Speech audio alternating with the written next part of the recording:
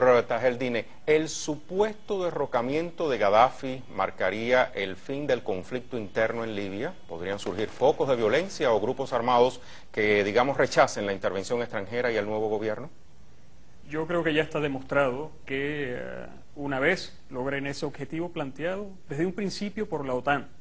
eso habría que dejarlo claro. La OTAN desde un principio se enmarcó en esta acción de asesinar al líder libio Muammar al-Gaddafi. Pero una vez logren ese objetivo, de ser así, que eh, podría ser en cualquier momento, debido a, cómo se ha llevado de forma criminal los ataques, debido a la superioridad aérea que cuenta y el apoyo aéreo que cuentan los mercenarios a través de la OTAN, ah, esta acción o esta acción de resistencia no va a mermar. Porque primero existe conciencia. Yo estuve recientemente en Libia y vi la determinación de mucha gente allá en Libia a, seguir resistiendo y a mantener la resistencia por encima del de, eh, líder libio, Muhammad al-Qaddafi, que es la figura emblemática, simbólica, pero hay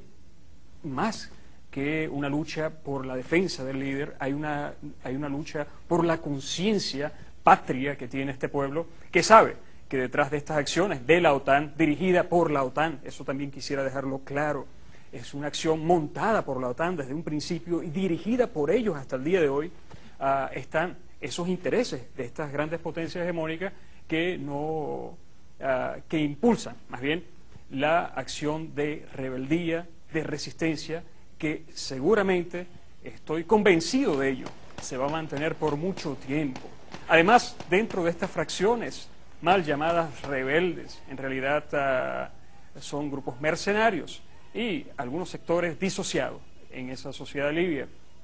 Existen, existen sí, existen bastantes divisiones internas que se demostró con la muerte de Abdel Fattah al-Yune, motivada por grupos internos.